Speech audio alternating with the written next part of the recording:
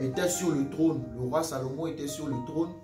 Et le roi Salomon, à un moment donné de sa vie, a commencé à aimer des femmes, a commencé à aimer des femmes étrangères.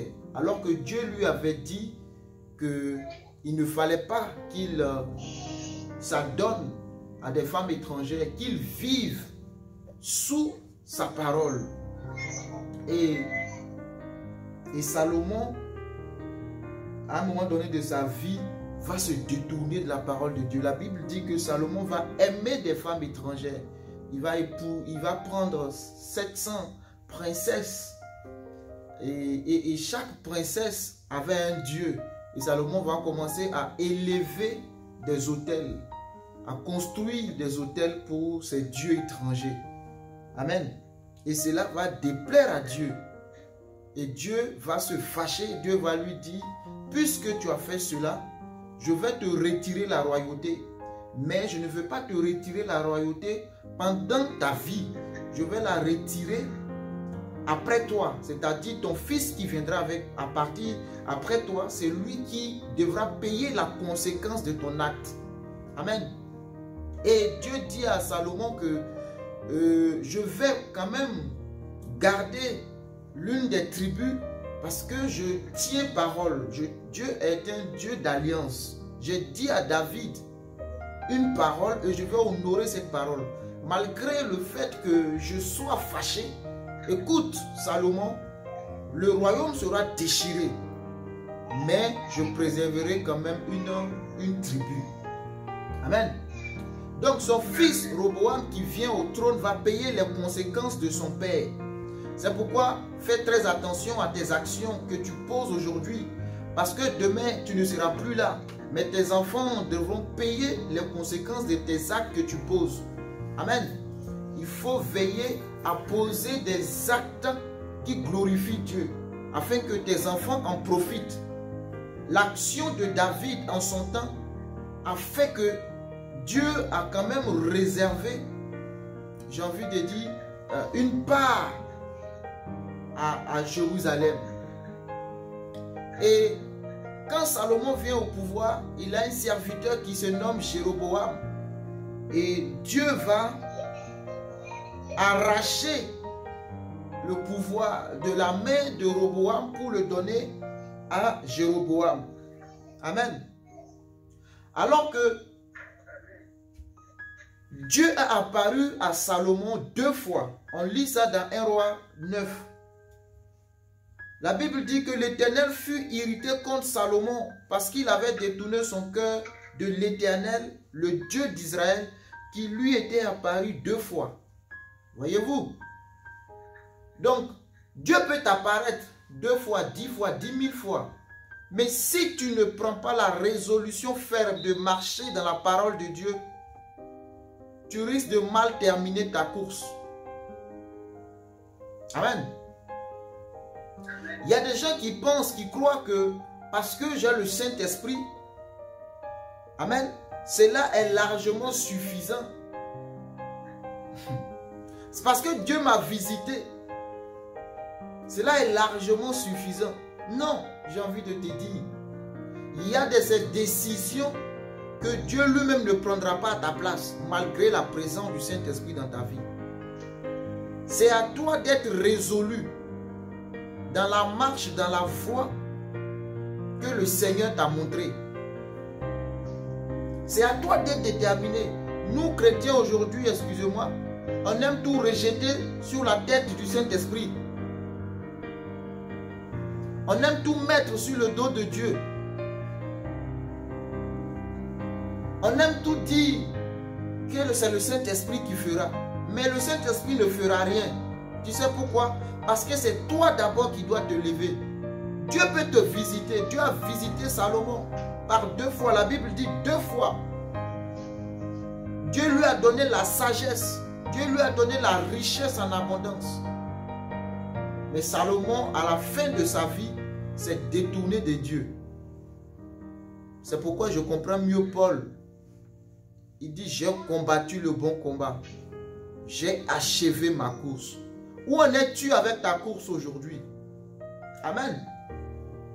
Continues-tu de courir et de combattre le bon combat? Ou as-tu troqué en cours de route la parole que Dieu t'a donnée? D'ailleurs, c'est ce que nous allons voir, si Dieu le temps le permet, avec euh, ce jeune prophète.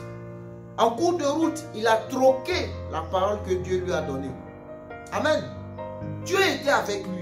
Dieu lui a parlé, mais il a troqué la parole de Dieu contre un repas de 10-15 minutes. Amen. Salomon a troqué la parole de Dieu contre des femmes. la Bible dit par amour, il aimait tellement les femmes. Qu'est-ce que tu aimes plus que Dieu? Qu'est-ce que tu aimes dans ta vie plus que Dieu qui prend la place de Dieu? Pour Salomon, c'était les femmes. Toi et moi, qu'est-ce que tu aimes plus que Dieu? Au point où de, de, de, de, de brader la parole de Dieu. Amen. Donc Dieu va susciter des ennemis à Salomon.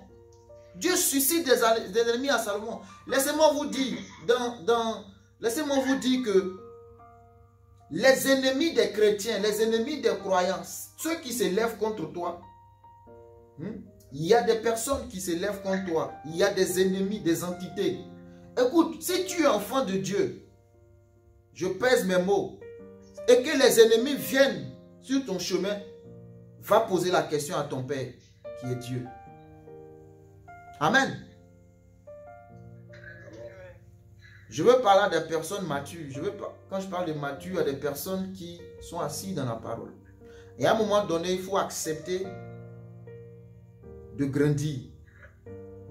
Et de comprendre que tout ce qui, est, tout ce qui arrive dans ta vie, Dieu est au courant. Dieu sait. La Bible dit que Salomon se détourne de Dieu. Et Dieu va mettre en marche un plan. Il va susciter l'ennemi. Il suscite un ennemi à Salomon. Adad, qui est un ennemi, au verset 14. Adad, c'était un, un Lédomite. Et on voit que son père David, permettez-moi, hein, moi quand je, je, je, veux rentrer dans les détails, je ne veux pas juste prêcher, parce que tu connais l'histoire du jeune prophète et du vieux prophète, tu la connais. Amen. Toi et moi, nous la connaissons, on connaît la fin. Amen. Je ne veux pas venir te réciter des choses ou te... Euh, juste... Non, moi je veux qu'on rentre dans les profondeurs pour les appliquer à notre vie. Amen. Vous êtes avec moi Je ne sais pas si c'est une qualité ou c'est un défaut, mais je ne sais pas aller droit au but. Je, vous le dis en même temps. Si tu me donnes un texte, je suis capable d'enseigner 10, 10, dimanches sur, le, sur la chose. Je ne sais pas si c'est une qualité ou c'est un défaut. Aidez-moi et dites-moi si c'est un défaut que je corrige. Amen. Je ne sais pas aller droit au but. Je ne vais pas sauter sur le prophète et puis je vais te dire il a été bouffé. Pour moi, c'est trop léger. Il faut qu'on comprenne tout le contour. Pourquoi on en arrive là en fait? C'est ça qui est important. Pourquoi on en arrive là? Pourquoi est-ce que... C'est ça. Et c'est à partir de ça, moi aussi, je vais organiser ma vie pour ne pas arriver là. Mm. Oui. Quand vous voyez un homme béni, un homme prospère, ne sautez pas sur lui tout de suite, mais posez-lui les bonnes questions. Comment tu as fait pour arriver? C'est ça en fait moi.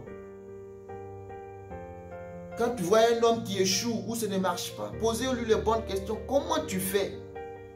Ne t'arrête pas seulement à ce que tu vois, ni à ce que tu entends. Amen. Mais va en profondeur. Donc c'est pour ça que je prends tout ce, ce détour-là. Amen. Donc permettez-moi, s'il vous plaît. Permettez-moi. Permettez-moi. Donc, je reviens dans mon texte, c'était une parenthèse. Après, vous allez me donner la réponse. Hein. Ne pensez pas que je veux, je veux la réponse. Je cherche à m'améliorer. Amen. Amen. Vous êtes avec moi. Oui. Je, oui, il faut, Les choses de Dieu, on grandit, on apprend. On grandit, on apprend, on apprend. C'est comme ça. Et c'est avec les uns les autres qu'on corrige nos erreurs, on essaie de s'améliorer pour avancer. Hein, entre enfants de Dieu, on se dit les vérités. Ce que tu n'aimes pas, il faut dire. Amen. Dieu suscite un premier ennemi à, Salomon. Ensuite, un deuxième ennemi. Le premier ennemi qui est Edom, euh, David, son père, a battu Edom. Dieu, il est trop fort. David, son père, a battu Edom. Allé contre Edom, il a battu. C'est Edom que Dieu va susciter un ennemi à son fils Salomon. Ensuite, Dieu suscite encore un autre ennemi à Salomon. Raisonne. Lui qui est fils de Eliada. David a massacré son maître et sa troupe. Voyez où Dieu va chercher les ennemis contre Salomon? Des hommes que son père a battus. Son père a pris soin de... David, c'était un homme de guerre. C'est pourquoi Dieu n'a pas permis qu'il lui fasse le temple. Parce que sa main était remplie de sang, nous dit la Bible. C'était un homme de guerre. Il, détruisait. Et j'ai envie de dire, il a plani les sentiers pour son fils. Il a arrangé la, la chose pour son fils. Mais tous ces, toutes ces personnes, tous ces royaumes, tous ces rois qu'il a combattus, Dieu va les susciter pour être ennemis comme Salomon. Fais attention à, ce que tu fais comme acte. Demain, on va t'enterrer. Tes enfants, tes enfants, ils devront payer pour tes actes. C'est pour cela que tu dois poser de bons actes. Amen. David a fait de bonnes choses. Salomon est venu régner dans la paix. Dans le règne de Salomon, c'était la tranquillité. C'est pourquoi il avait le temps même d'aller chercher 10 000 femmes. Hum. Quand tu es oisif, quand tu es oisif, tu ne sais pas à quoi est destinée ta vie. Tu as le temps d'aller chercher les femmes. Mais quand tu es occupé, ton heure, 24 heures ne te suffit pas. Tu n'as pas le temps de t'amuser à mille femmes. Tu fais quoi avec ça? David, son père, a péché, mais avec une seule. Parce que lui, c'était un homme de guerre. Il n'avait pas le temps pour les femmes. C'est arrivé dans sa vie. Mais Salomon avait le temps de collectionner. Il fait collection de femmes. Occupe tes temps creux, ton temps vide là, remplis-le, ne sois pas oisif. Parce que le péché vient par l'eau, le fait que tu sois oisif, que tu ne saches pas quoi faire. Tu commences à penser à des choses qu'il ne faut pas penser. C'est comme ça que vient le péché. Amen. Dieu suscite un troisième ennemi qui est Jéroboam lui-même, serviteur de Salomon. au verset 26. Mais parce que Dieu garde toujours son alliance, il dit, je n'ôterai pas de sa main tout le royaume, car je maintiendrai, je le maintiendrai prince le temps de sa vie à cause de David, mon serviteur, que j'ai choisi et qui a observé mes commandements et mes lois. À cause de mon, c'est ça, à cause de mon serviteur David, qui a fait quoi? Qui a observé mes commandements et mes lois. Est-ce que Dieu peut dire de pareilles choses sur ta vie? Je vais détruire la nation par le Covid, mais à cause de ma servante. Je vais détruire par le fléau, mais à cause de mon élu. Est-ce que Dieu peut dire ça de toi? Je vais frapper cette famille, mais j'ai vu mon serviteur intègre. Et à cause de mon serviteur, je vais épargner la nation. Est-ce que Dieu peut dire ça de toi? Je vais détruire Sodome et Gomorre, mais je cherche des personnes justes. Et à cause de ces personnes justes, je ne frapperai pas. Mais malheureusement, mais malheureusement, mais malheureusement, est-ce que Dieu peut dire ça de toi? Est-ce que Dieu peut dire ça de nous? Vas-y et cherche toi-même la, réponse à cette question. Est-ce que Dieu peut dire ça de toi? Dieu donne maintenant le pouvoir au serviteur Jéroboam. La royauté se transmet de père en fils. Mais comment se fait-il qu'un serviteur vient rentrer dans la lignée de cette royauté? Jusqu'ici, le pouvoir était transmis, la royauté était transmise de père en fils. Et je fais une parenthèse pour te dire que le pouvoir ne se prend pas, le pouvoir se donne. Amen. Le pouvoir ne se prend pas. Le pouvoir se donne. Et le pouvoir se donne par Dieu. C'est Dieu qui donne le pouvoir. Toutes les fois que tu te lèves pour aller prendre le pouvoir, tu risques de tomber. Le pouvoir ne se prend pas. Le pouvoir se donne. Vous voyez pourquoi en Afrique, on ne finit jamais avec le coup d'État? Pourquoi? Parce que le pouvoir là-bas ne se donne pas par le peuple, mais il se prend par la violence. Celui qui tue par l'épée, il ira par l'épée. Le pouvoir ne se prend pas. Détrompe-toi, si c'était dans ta pensée, de prendre, non. Le pouvoir, c'est une position.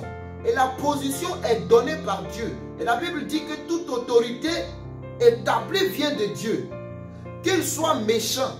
C'est ça le problème de l'homme. L'homme pense que c'est seulement le juste qui doit être au pouvoir. Je vous ai dit, il faut qu'on rentre un peu en maturité. Ce n'est pas seulement le juste qui monte au pouvoir. Tu verras le méchant au pouvoir parce que c'est Dieu qui l'a établi là. Ce n'est pas que le juste. Allez-y demander au roi Nebuchadnezzar. La Bible déclare par la prophétie de Jérémie que si le peuple reste dans la rébellion, ils seront en captivité. Dieu suscita Nebuchadnezzar pour venir détruire le peuple d'Israël, piller les enfants d'Israël, les amener en captivité à Babylone. C'est Dieu qui avait permis ça. Mais le méchant lui-même ne sait pas qu'il est en train de marcher dans les voies de Dieu. C'est ça le problème. Et toi, si tu n'as pas l'Esprit de Dieu, tu vas juger par l'apparence. Pourquoi est-ce que c'est le méchant qui gouverne? Parce que les justes ont démissionné. Toutes les fois que le méchant gouverne, c'est parce que les justes ont péché. C'est parce que ceux qui devaient être là où ils sont, ils n'ont pas fait la volonté de Dieu. C'est normal. Amen. Donc Dieu se sert du méchant pour te corriger, pour te ramener sur le chemin. Si tu es en train de brûler dans le feu, ce n'est pas toujours vrai. Ce n'est pas toujours vrai, je, je le précise. Dieu peut utiliser l'ennemi pour te rectifier. Dieu utilise l'ennemi pour te corriger. Dieu aussi utilise l'ennemi pour t'élever. C'est-à-dire tu n'as rien fait. Ce n'est pas parce que tu as péché ou tu as fait quelque chose de méchant, mais parce que Dieu veut t'élever, il envoie l'ennemi pour te faire sortir de ta zone de confort. S'il n'y a pas d'adversité, tu tires le drap, tu dors bien. Mais quand l'adversité arrive, tu te mets à genoux, sur tes deux genoux, tu pries. Tu ris baba seulement. Dieu veut t'emmener dans une autre profondeur, dans une autre dimension. C'est pourquoi il va te susciter des adversaires. Parce que la couronne n'est obtenue qu'après un combat. La coupe n'est donnée à celui qui a combattu et qui a été vainqueur. La coupe veut simplement dire le prix. Quand on dit la coupe, c'est un prix. C'est un prix. Comment un prix, ça se gagne dans l'adversité? Amen. Hmm, le temps. Jésus. Dieu donne le pouvoir à, Jéroboam, serviteur de Salomon. Et Jéroboam, pardon, euh, Salomon ayant eu écho de la prophétie, parce que c'est une prophétie qui a été libérée sur la vie de Jéroboam. Salomon va chercher à tuer Jéroboam. Et la Bible nous dit que Jéroboam va fuir en Égypte. Il va aller dans une terre d'asile pour chercher la paix. Parce qu'il y a un prophète qui a prophétisé sur la vie de Jéroboam. Le prophète a déchiré son manteau. Il a dit en plusieurs. Et il a dit à Jéroboam, ainsi l'Éternel te donne dix, dix parts de la tribu du royaume d'Israël. Mais ce qui est intéressant, c'est que Jéroboam n'est pas allé contre Salomon. Il ne s'est pas levé pour se rebeller contre Salomon. Il pouvait dire, j'ai reçu la prophétie que c'est moi qui serai établi. Il pouvait aller, en guerre contre Salomon. Mais en guerre, il mourra. Parce que Salomon, c'était un homme fort. Lisez un peu un roi 11. Vous allez voir, c'était pas... Euh, Salomon, c'était un homme qui vivait dans l'opulence. Il, avait des hommes de guerre. Il était armé jusqu'aux dents. C'était un homme puissant. Et la Bible même précise bah, que Salomon va amener un joug dur. Parce que, et, je comprends, aujourd'hui quand on, parle que de taxes, que d'impôts, que de taxes, que d'impôts, pour profiter à une, partie de la population. Salomon faisait de même. Et le peuple va venir voir Roboam qui était sur le trône pour lui dire, allège-nous notre, notre servitude. Il ne va pas écouter la voix des anciens, la voix du peuple. Tu ne pouvais pas t'élever, aller en guerre contre Salomon et puis gagner. Il ne faisait pas la guerre, mais il était stratégiquement bien positionné. Son pouvoir était assis. Jéroboam a fui. Il est parti en Égypte. Quand il a appris que Salomon est mort, il est revenu. Ils sont allés l'appeler. Pourquoi je te dis ça? Vous savez, avec Dieu, il y a un temps pour tout. Il ne faut pas te blaguer parce que tu as reçu la prophétie et courir avant le temps de la prophétie. Tu risques de mourir en chemin. Jéroboam se levait en guerre, il mourrait sans accomplir la prophétie. Il faut savoir reconnaître le temps.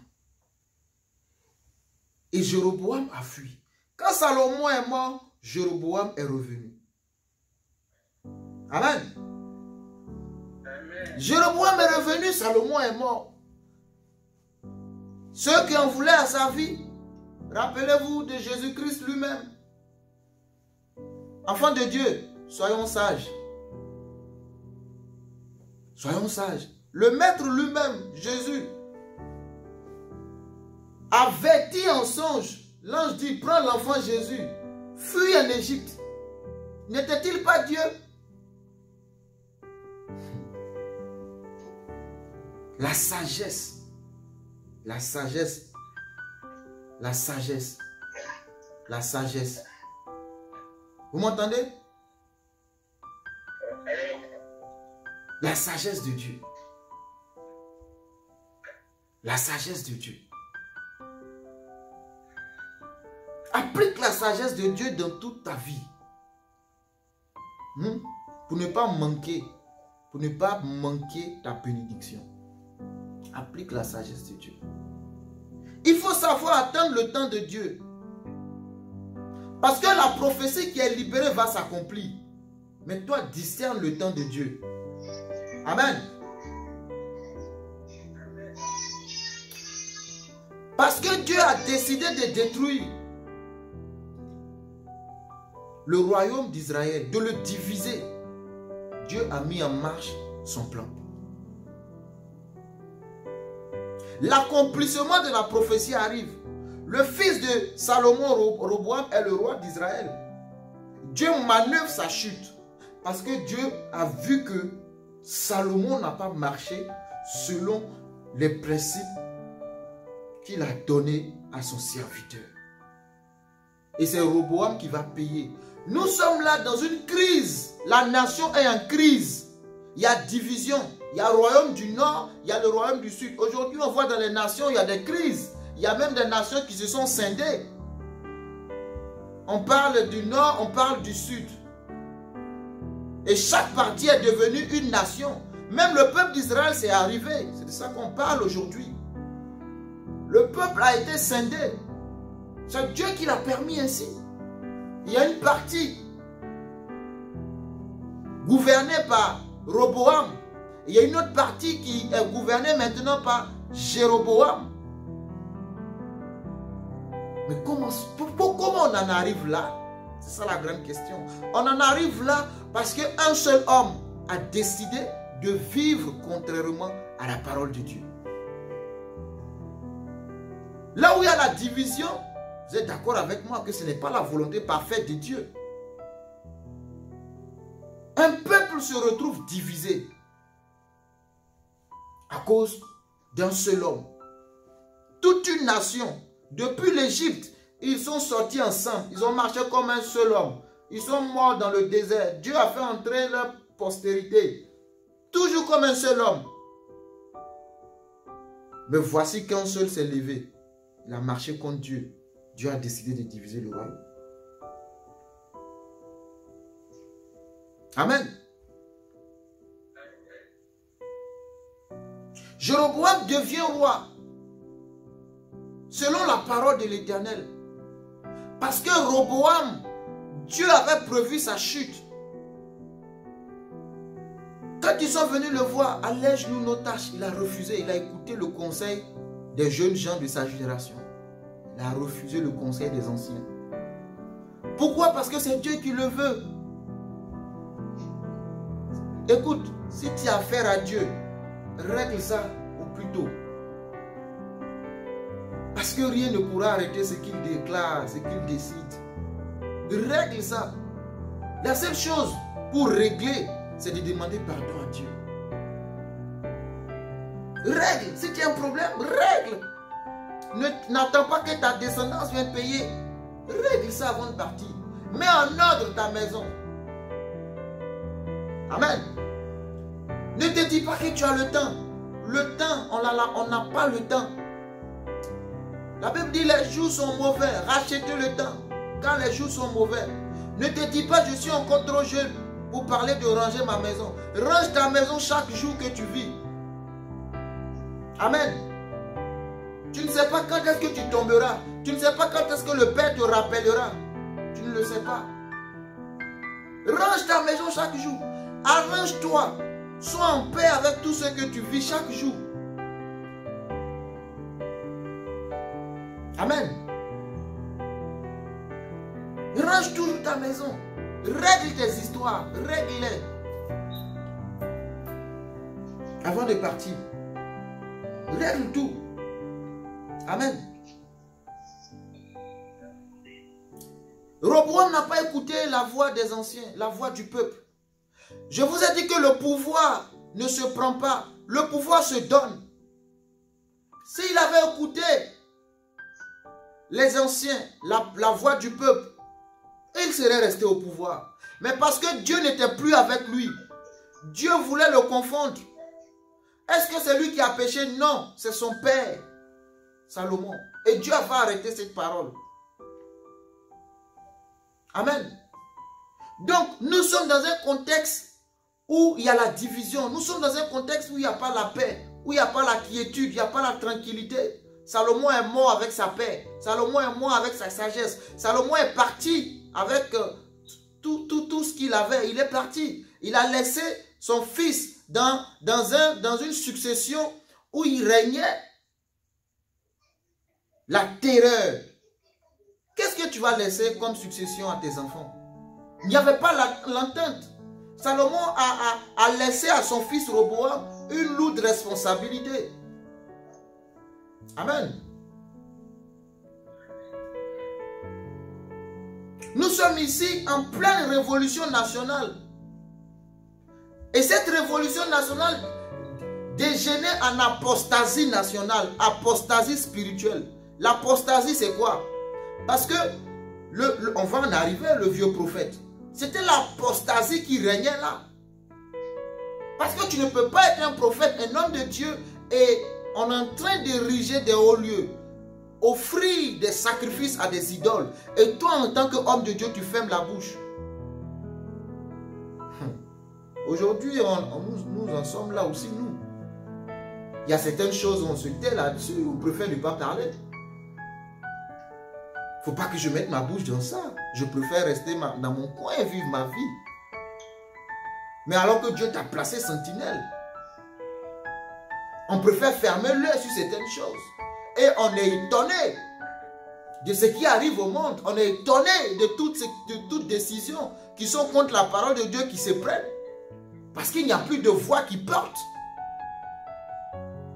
L'apostasie est là.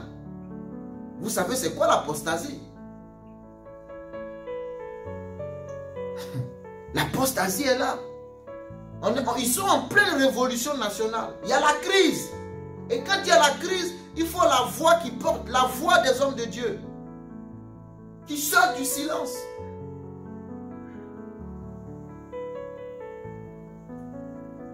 Il y a une histoire politique qui se passe.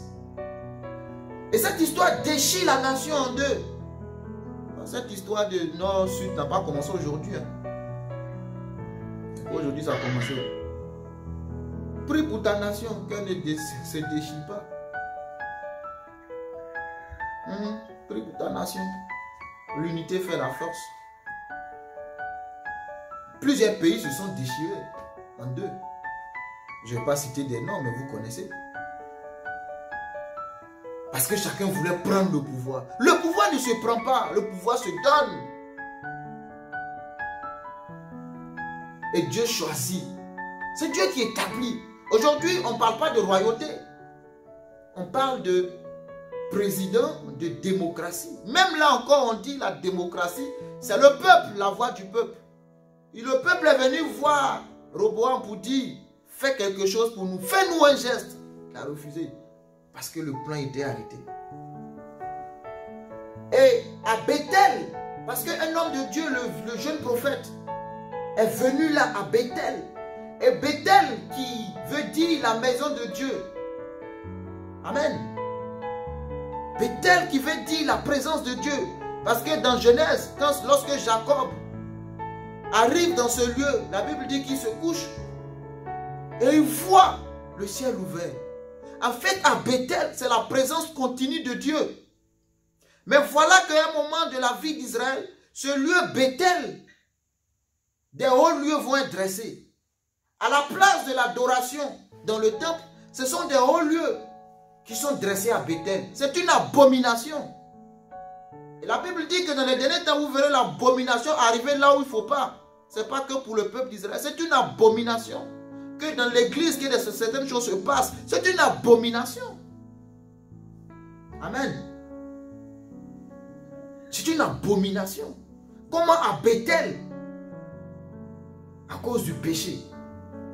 À Bethel. Jéroboam monte au pouvoir. Et Jéroboam commence à ériger des hauts lieux. Et le vieux prophète est là. Parce que le vieux prophète est rentré dans le sommeil spirituel. L'apostasie. L'apostasie, fais attention à ta vie. Tu peux croire toujours être dans la voie, mais tu es hors. Dieu ne te parle plus. Tu es mort spirituellement. Tu penses être visible, mais tu es mort. Aux yeux des hommes, on te dira, enfant de Dieu, fils de Dieu, fils du royaume, prince, princesse. Mais toi seul sais au fond la, mort qui règne dans ta vie. Toi seul le sais. Toi seul sais la mort spirituelle qui est dans ta destinée. Toi seul le sais. Mais quand tu sors, hein, comme moi aujourd'hui, bien habillé en costume, la Bible dit fais attention, ce sont des tombeaux blanchis. C'est la mort qui règne au, fond. Ils paraissent vivants. Le vieux prophète paraît vivant, mais il était mort. Mort parce qu'il ne recevait plus rien de Dieu. Mort parce qu'il ne pouvait plus lever le petit doigt. Mais pourquoi cela est arrivé? Comment cela est arrivé? Comment se fait-il qu'un prophète de Dieu, un prophète authentique de Dieu, un homme de Dieu, moins de la puissance de Dieu, arrive à cette dimension?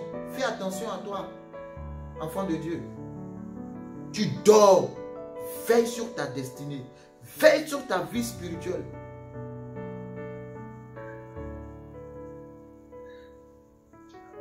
L'apostasie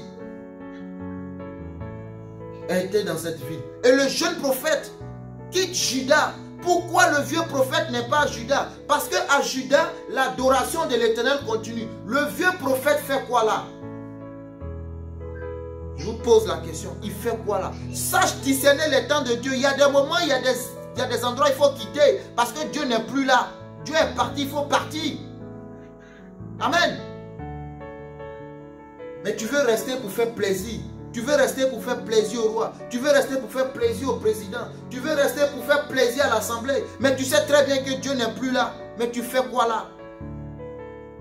Là où l'adoration de Dieu était élevée, ce sont des hauts lieux. Là où l'adoration de Dieu était donnée, ce sont des hommes qui se substituent à la place de Dieu. Et tu le sais, mais tu es encore là. Parce que tu veux garder ton titre. On t'appelle toujours vieux prophète. On t'appelle ancien. On t'appelle doyen. Tu aimes ça? Ça te plaît? Les titres te font plaisir. Amen. Mais tu sais que Dieu n'est plus là.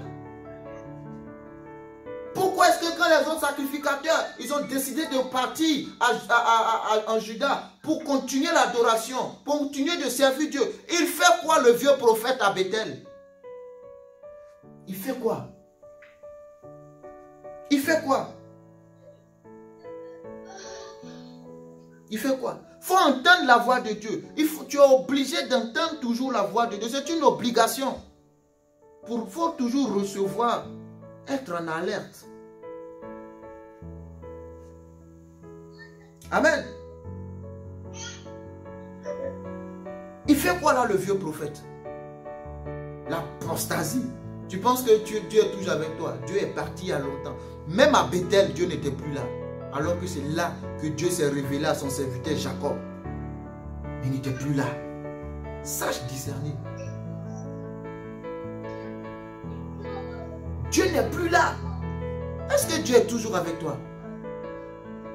C'est pas parce que tu lis ta Bible que Dieu est là. Est-ce que Dieu est toujours là? Est-ce que tu ne fais pas les choses mécaniquement? Tu ne reçois plus rien de Dieu. Mais parce que, bon, tu vis une vie de religion. Fais attention. Amen. Fais attention. Maintenant, Dieu envoie son jeune serviteur, un homme de Dieu moins authentique. Dieu l'envoie en mission. Dieu l'envoie comme... Il était prophète de Dieu. C'était un envoyé de Dieu. Dieu l'envoie en mission. Il se lève. Il vient de la part de Dieu. Il vient parler à Dieu. Pardon, il vient parler contre l'autel. Les abominations que Jéroboam a érigées. Il s'est établi lui-même sacrificateur. Il établit des sacrificateurs comme il veut. Amen.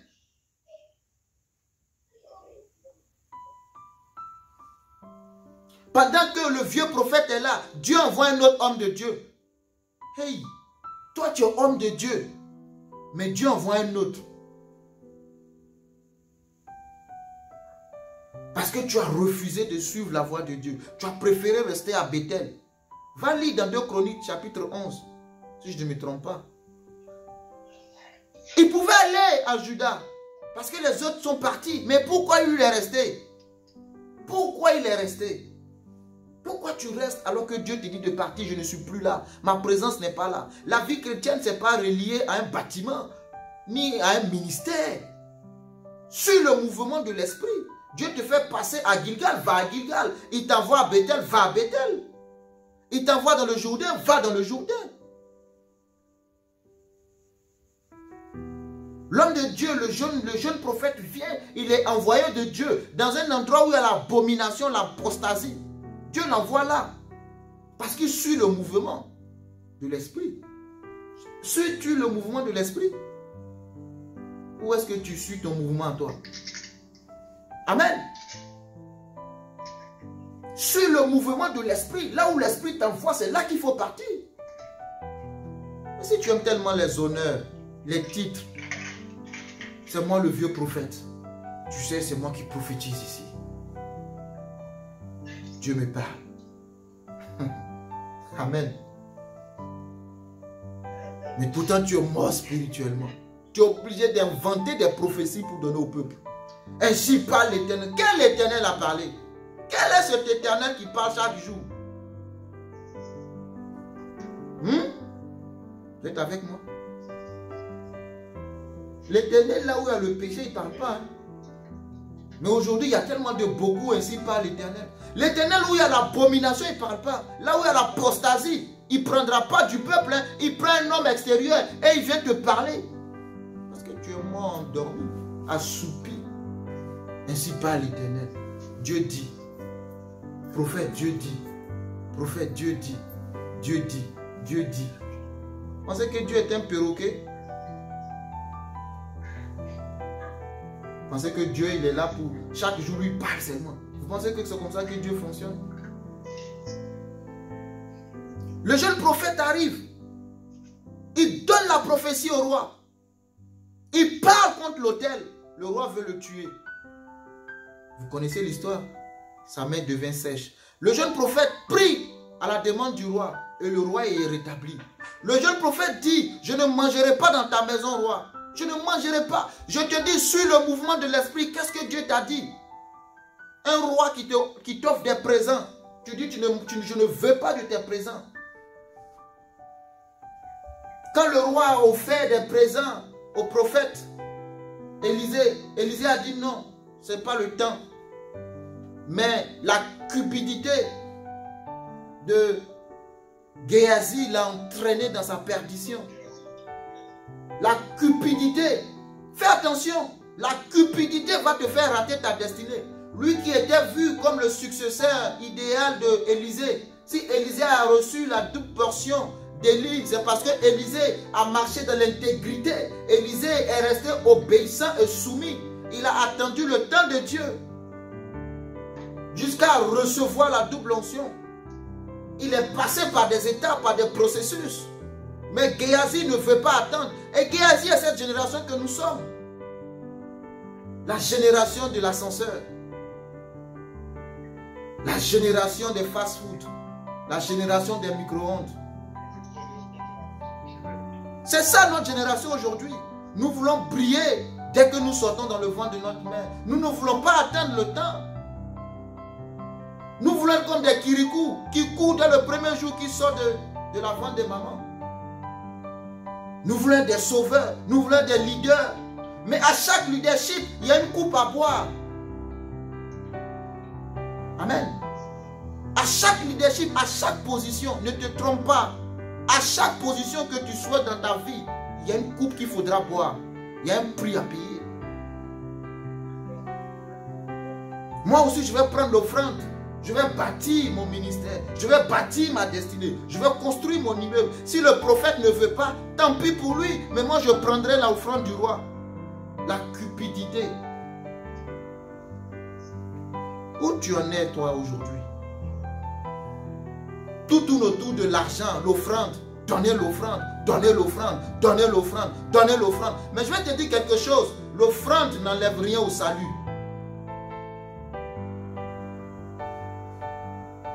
Il y a des doctrines qu'on appelle des doctrines flexibles. Ce n'est pas parce que je ne donne pas l'offrande que Dieu est en enfer. Ça, les hommes de Dieu n'aiment pas entendre ça. Faut enseigner la vérité au peuple. Il hein. enseigner n'importe quoi au peuple. Ce n'est pas parce que je donne ma dîme que j'irai au ciel. La cupidité, l'argent, l'argent, l'argent, la cupidité. Demandez à Géasi, la lèpre d'Aman s'est rattachée à lui par sa cupidité. Il a raté. C'est-à-dire qu'il il devait être un grand serviteur, un grand prophète. Il a raté son ministère. Il a raté sa destinée. La cupidité. Où tu en es avec ça? Le jeune prophète a réussi à son premier examen. Succès, 10 sur 10. Il dit au roi, Dieu m'a dit, je viens par un chemin, je ne retourne pas sur le même chemin. Je ne mange pas à Bethel, je ne bois pas à Bethel. À Bethel, il y a l'abomination. Je ne m'assierai pas dans l'abomination pour manger. Vous pensez que c'est pour rien que Dieu a dit de ne pas manger là, de ne pas boire là? Dieu ne veut rien qui, qui sort de l'abomination. Ton argent vient de l'abomination, garde-le pour toi seul. Mais le prophète, la cupidité, de l'homme de Dieu. C'est ça le problème aujourd'hui. C'est pas grave, il n'y a pas l'argent sale, il n'y a pas l'argent juste. L'argent, c'est l'argent. Tant que c'est une offrande, je reçois. La cupidité. Dieu sait qu'à Bethel, il y a l'abomination, il y a l'apostasie. Vous pensez que Dieu, c'est derrière offrande du coup? Parlons-nous la vérité. De toute façon, vous pouvez faire mon procès après mon message, j'accepterai. Mais parlons-nous la vérité. Vous pensez que Dieu c'est offrande qu'il cherche Vous pensez que Dieu c'est ça qui l'intéresse? C'est le cœur qu'il veut. Il a dit à Salomon, je vais te donner la sagesse dans ton cœur. C'est dans ton cœur. La Bible dit que les hommes venaient écouter de tout part, venaient écouter Salomon à cause de la sagesse. Ils venaient l'écouter, l'entendre à cause de ce que Dieu a mis en lui. Qu'est-ce que Dieu cherche un homme Entre l'homme et Dieu, qui est perdu? Qui est perdu? Vous êtes silencieux. ne soyez pas silencieux. Restez avec moi. Entre Dieu et l'homme, qui est perdu Je n'ai pas... Ah. Vous pensez que Dieu, là, c'est derrière offrande. C'est à cause des offrandes que Jésus est venu mourir à la croix. C'est à cause d'argent. Il dit à Salomon, je vais te, je vais te rendre riche. Il, dit à Salomon, je vais te rendre riche. J'ai essayé de, calculer la, richesse de Salomon. Parce que j'ai entendu des, gens dire que oui, heureusement que Dieu a dit que c'est à la, c'est à sa, dans sa vie qu'il n'y aura pas d'homme plus prospère que lui. Mais va t'amuser, il n'y en aura pas. Va t'amuser. La Bible déclare que chaque année, chaque année, le gars recevait 660 cycles talents d'or. Moi, j'ai converti ça en, euros. Essaie de convertir. D'abord en kilogrammes. Quand tu convertis, hein, le, le, coût le moins cher, c'est 30 et le plus cher, c'est 60. Même quand tu prends le moins cher, Salomon, c'était 40, pardon, c'était 20 000 kilos d'or par an. Quand vous étudiez la Bible, ramenez-la dans le contexte d'aujourd'hui. Évaluez les choses. Quelqu'un reçoit par an, ça c'est sans compter ce qu'il prenait des autres impôts. Sans, il recevait 20 000 kilos d'or par an. Faut me dire sur cette terre-là qui reçoit 20 000 kilos d'or par an? Vous, aujourd'hui, la Bible dit qu'en son temps, on ne parle même pas d'argent. Aujourd'hui, même les plus riches du monde, on parle de, de, Elon Musk, de Bill Gates. Leurs fortunes sont évaluées à environ 200 milliards d'euros. Et en plus, ce sont des actions. Ce ne sont pas des choses concrètes. Disons-nous la vérité, ce sont des actions, la majeure partie de leur richesse. Ce sont des bourses, c'est la spéculation. Mais la, richesse de Salomon, ce n'était pas de la spéculation. C'était authentique. Et on évalue la, valeur des biens aujourd'hui à partir de l'or. Dieu lui a donné tout ça. Juste pour vous dire que Dieu n'en a pas besoin. L'or et l'argent lui appartiennent. Dieu veut ton cœur. Mais la cupidité, la cupidité. Moi, dans mon message, quand j'ai préparé, il n'y a même pas un seul mot cupidité. Mais que, le nom de Dieu soit. Il n'y a même pas un seul mot cupidité, mais c'est que ça que je répète. Peux t'envoyer mon texte, tu vas voir, il n'y a pas un seul mot cupidité dedans. Je m'a même pas traversé l'esprit.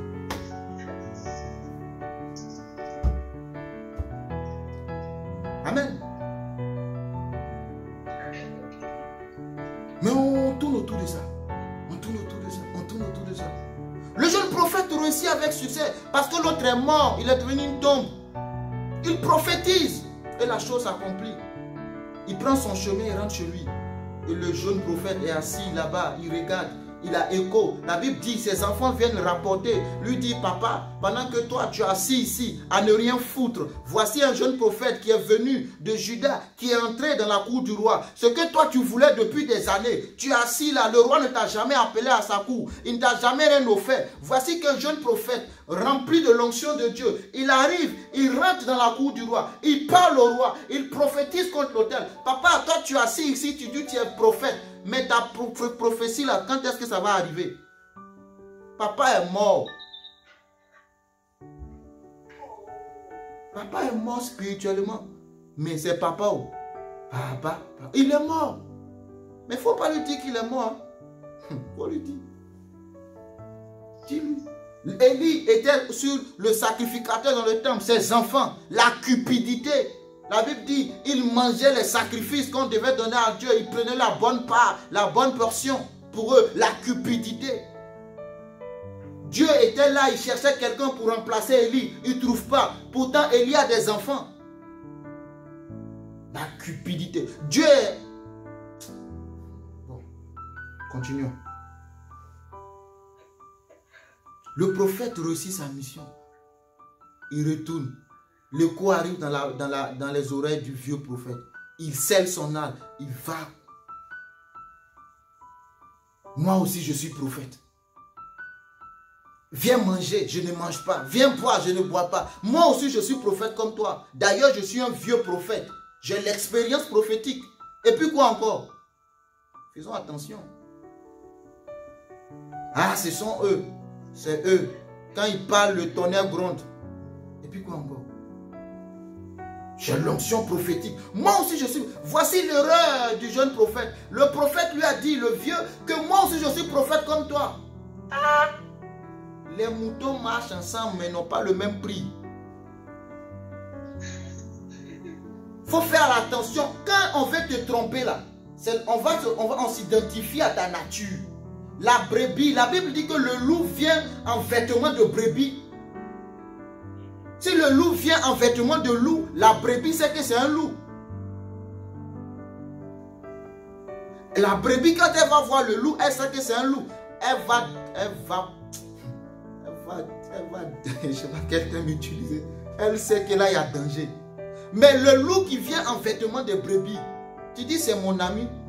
C'est pourquoi toi tu t'attaches à tout le monde. Lui là c'est mon ami. L'autre là c'est mon ami. Tout le monde tu les appelles mon ami. C'est eux qui vont te piquer dans le dos. Tu n'auras que tes yeux pour pleurer. Il faut avoir le discernement. Le, le vieux prophète, il a l'expérience. Il sait que si j'utilise le fait que je dise qu'on est de la même nature, de la même race, on vient du même pays, du même continent. Tu es togolais, je suis togolais. C'est le même village en plus. Ah, ton papa est né là-bas. Ah, moi aussi, mon papa était là-bas. Mon frère. On vient du même village. Quoi bas À tout. Bienvenue, mon frère. Mangeons ensemble. Tu n'as même pas cherché à discerner qui s'est présenté devant toi. Il a juste dit, je viens du Togo. Je viens du même village. Je viens même, tu vois la cour là. Oui, c'est notre cour. La cour, oui, oui, c'est ça.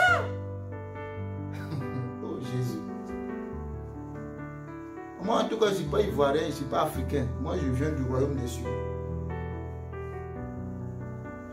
Moi, j'ai décidé que je ne suis pas ma patrie là. Parce que la Bible dit que Abraham a fait son pèlerinage sur la terre.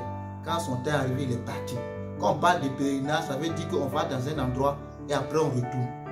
La terre, c'est un lieu de transit. Donc moi, je ne m'identifie pas à je suis de l'ouest, je suis du nord du centre. Ça, ça, ça n'engage que moi. Amen. Nous sommes dans un royaume. Le loup viendra en vêtements de brebis. Tu es mon collègue. Ah, tu es pasteur. Ah, toi, tu es pasteur. Non, moi aussi, je suis pasteur. Ah, Charles, tu es pasteur. Moi aussi, je suis pasteur. Aïe, chien mange pas chien. Ou bien? tu es pasteur, non? Moi aussi, je suis pasteur. On peut travailler ensemble. Mais vas-y travailler. Vas-y travailler le, je rends grâce à Dieu pour la vie de l'apôtre Jean-Claude que j'ai connu. Il, il, même me partager ses expériences. Et je me suis rendu compte que pasteur n'est pas pasteur. Hein. C'est mon frère. C'est celui que j'appelle mon frère là. C'est lui qui te poignarde dans le dos.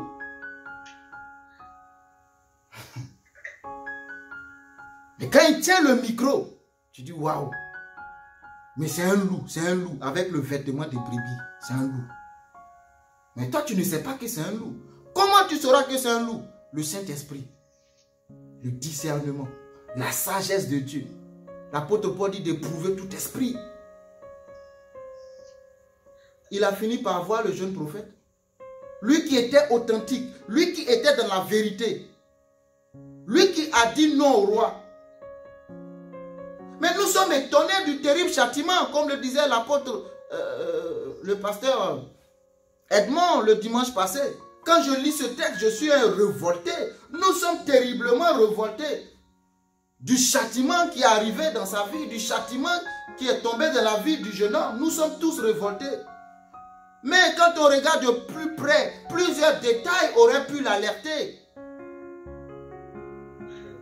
La Bible dit que ta parole est une lampe à mes pieds.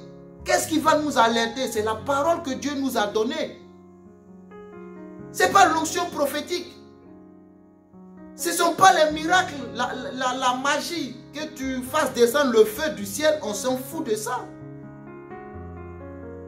Le, le, Aaron a jeté son serpent, son poids, c'est devenu serpent. Les, magiciens aussi ont jeté, c'est devenu serpent. Et puis quoi encore? Mais gloire à Dieu, le serpent d'Aaron, de, Moïse, pardon, a avalé les serpents de, de Pharaon. Et quand tu es authentique avec Dieu, ton serpent avale toujours les autres serpents.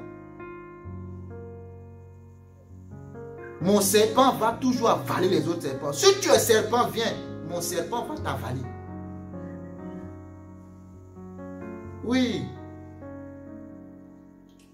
Parce qu'il prophétise. C'est un homme de Dieu. Il tourne sur lui. C'est un homme de Dieu.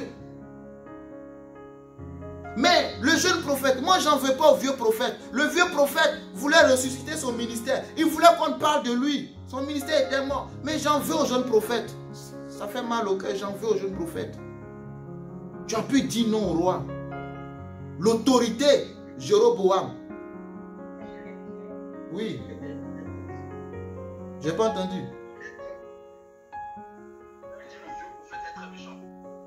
Il est plus que méchant. Il est plus que méchant. Mais regardez, dans le corps de Christ, écoute, tu penses que ton ennemi est dehors. Va demander à Jésus. Son ennemi c'était qui? Judas, il était où dans le groupe? Tu penses que ton ennemi est dehors? Jésus a dit, je ferai mon église et les portes de séjour de la mort ne prévaudront pas contre elle. Parce que Jésus se dit que dans mon église là, tout est clean mes serviteurs. Et quand lui-même finit son ministère, il dit, je prie Père qu'il soit un comme nous. Pourquoi Dieu dit qu'il soit un comme nous? Parce que Dieu sait qu'il y a la division au milieu d'eux. La preuve, les fils de Zébédée sont venus voir Jésus pour dire, nous voulons des positions. Ils ont envoyé leur mère pour dire, nous voulons des positions. Lisez très bien dans Matthieu chapitre 20. Mais à un moment donné, quand Jésus a dit, pouvez-vous boire ma coupe? Ils ont dit oui. Jésus a dit, oui, je le sais. Mais quand il s'agit de positions, ce n'est pas moi qui donne les positions. Et quand vous continuez le texte, vous allez voir que les apôtres, après, se sont rassemblés, ils ont commencé à faire des histoires. Pourquoi? Parce que chacun cherche la position. Vous pensez que ça, date d'aujourd'hui? Chacun veut la position. Pourquoi vous envoyez votre maman demander la position? Pourquoi? Pourquoi vous voulez la position? Pose la bonne question. Demande la coupe à boire pour occuper la position. Mais le jeune prophète, lui, il est venu prophétiser, ça s'est réalisé. Le vieux prophète, il est assis là-bas. Il n'a pas voulu aller en Juda pour rester avec les sacrificateurs. Il est, il est resté parce qu'il voulait être agréable au roi. Mais le roi l'a jamais appelé à sa cour. Il dit, tiens, tiens, c'est toi qui as envoyé là où moi je suis prophète pour venir prophétiser. On va voir. Mais le jeune prophète, c'est à lui la responsabilité. Écoute, Devant le trône de Dieu, personne ne répondra à ta place. Tu ne pourras pas dire c'est le jeune le vieux prophète. C'est le pasteur qui m'a dit ça. C'est la servante de Dieu qui m'a fait ça. Dieu ne tient pas compte. Dieu te posera la question ce que tu as fait de sa parole. C'est tout. Non, en fait, euh, euh, le frère, il a ça. Moi, je ne comprends pas. C'est lui qui m'a dit de faire ça. D'accord? Reste là seulement. Reste là. Je ne comprends pas. C'est le pasteur Edmond qui m'a dit de faire ça. C'est le pasteur X ou Y qui m'a dit ça. Reste, reste là seulement. Toi, reste là. Le jeune prophète aurait dû être alerté. Dieu, numéro un, c'est des points clés. Et je vais atterrir là. il est l'heure, je vais m'arrêter là. Amen. Les trois points que je te donne. Numéro un, Dieu ne pouvait pas se contredire. Note ça en rouge dans ton cahier, en grand caractère. Dieu ne peut pas se contredire faut noter ça en grand caractère. Imprime-le même si tu veux. Colle ça dans ta chambre.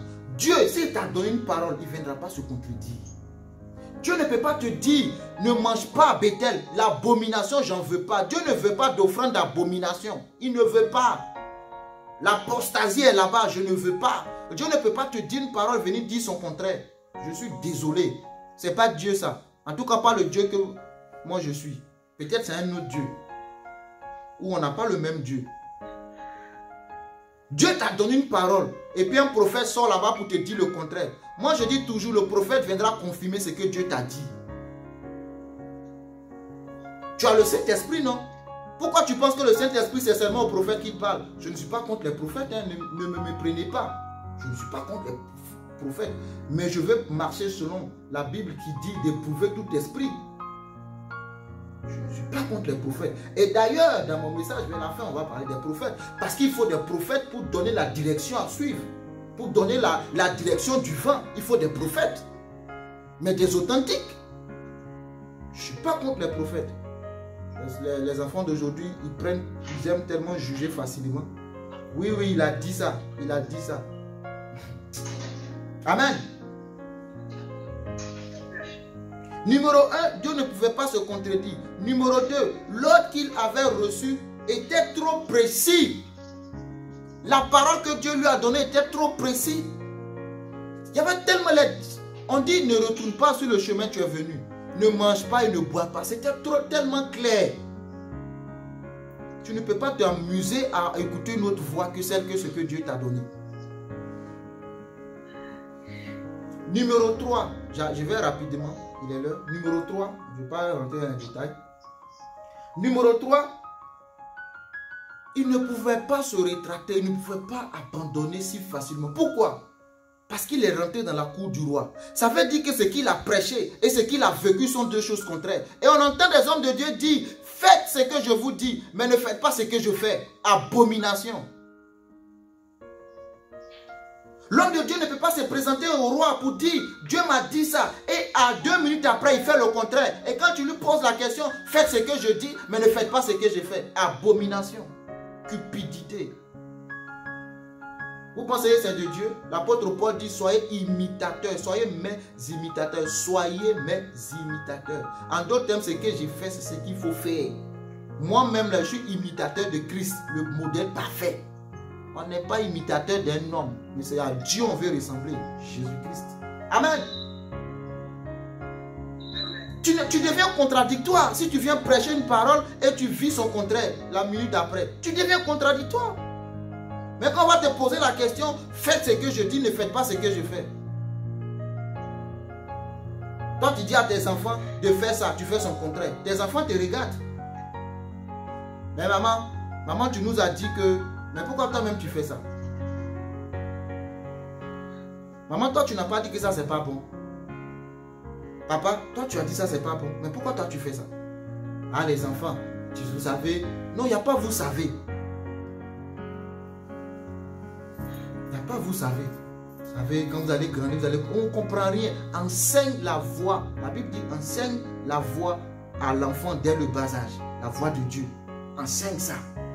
Vous savez, vous savez. Il n'y a pas vous savez. Quand ça commence par vous savez, c'est le mensonge qui va s'en suivre. Il n'y a, pas vous savez. La parole de Dieu est oui et amen. La Bible dit que ton oui soit oui, que ton non soit non. Point. Tu n'as pas à te justifier devant les non-croyants de ce que Dieu t'a dit de faire. Et c'est ça l'erreur de beaucoup. Tu veux tellement te justifier. Si je ne fais pas comme ça, ça va faire comme ça. C'est qui tu suis? C'est les hommes ou c'est Dieu? Que Dieu te bénisse. Je m'arrête là. Amen.